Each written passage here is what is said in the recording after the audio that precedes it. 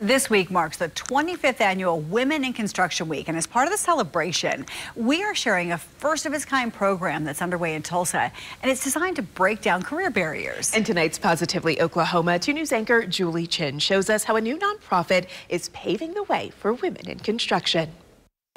I'm excited about it. Eventually, I want to build my own house, like, and just make it my dream home.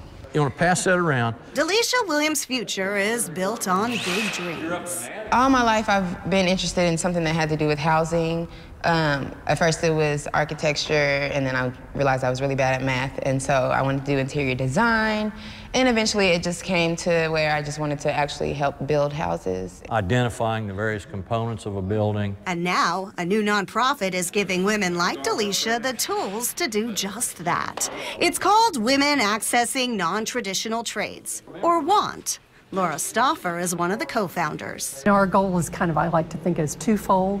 One is to get women to earn a living wage, and the other is to expose them to the construction industry and construction skills. We're going to build some workbenches. It turns out there aren't many women in construction in Oklahoma. The statistic I keep quoting and that I've heard is that only 3% of the construction workers are women in this state. They can set a 2 before on edge. These faces are changing that. The nonprofit's inaugural class, women like Felicia Battle. Women are coming to the field, so, you know, appreciate your help, you know, respect your help and love it because we're coming to help. We might not have the brawn, but we have the brains. And so you know, everybody approaches a job differently, and I think what women can bring to the construction field of construction is a different way of looking at things. WANT is a free eight-week pre-apprenticeship training program teaching women the skills they need. It's everything from construction math to CPR.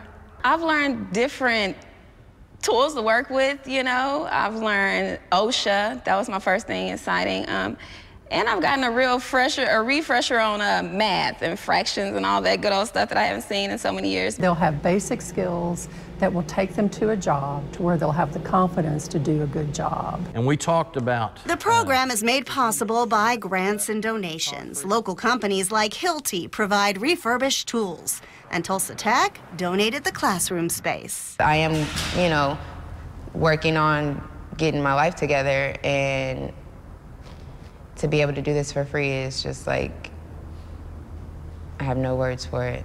It's truly a blessing. If you'll remember, the women spend eight hour days here, three days a week. Mornings center on construction skills. And you're going to have a seal. while afternoons focus on life skills. And those life skills are going to help them learn how to better communicate, how to deal with conflict, how to keep a checking account. And while they're retooling careers and leadership skills, a sisterhood is being formed here too. You know, it's maybe tough to be a, the only woman on a job site. And this way you have someone to call or someone to, to reach out to and say, hey, this happened to me. What do you think? And things like that. That really is helpful. Angle grinder.